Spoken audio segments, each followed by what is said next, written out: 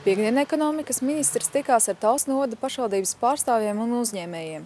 Sarunā pārunāja aktualitātes, kas skar būvniecības likuma izmaiņas, nodokļu sistēmu un elektroenerģijas tirgu.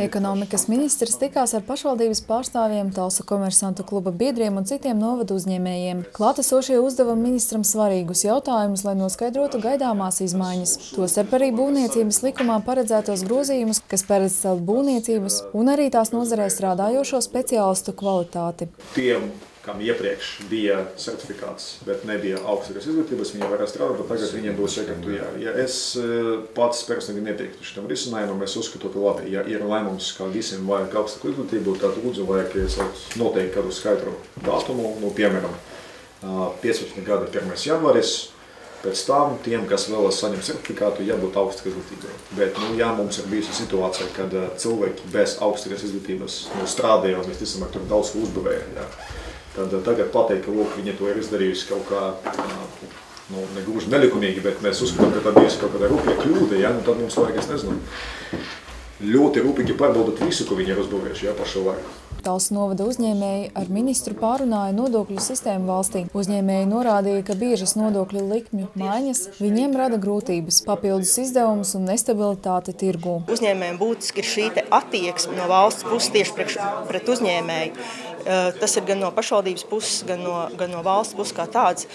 Es priecājos, ka mums Tāls novadā ir ļoti laba sadarbība ar pašvaldību un, un, un pašvaldība tiešām um, atbalsta uzņēmējus un iesaistās lūk, gan šādās uh, ministra vizītēs, gan uh, savstarpējās sarunās par uh, uzņēmējiem aktuāliem jautājumiem. Ir uh, finansējums tieši industriālajām zonām. Uh, nu šeit jau arī parādījās daudz jautājumu, teiksim, par to, ka, ja tiek izveidots jauns industriālās zonas un kur tiek izvietot uzņēmumi un radīts jauns darbvietas, tad viss ir kārtībā.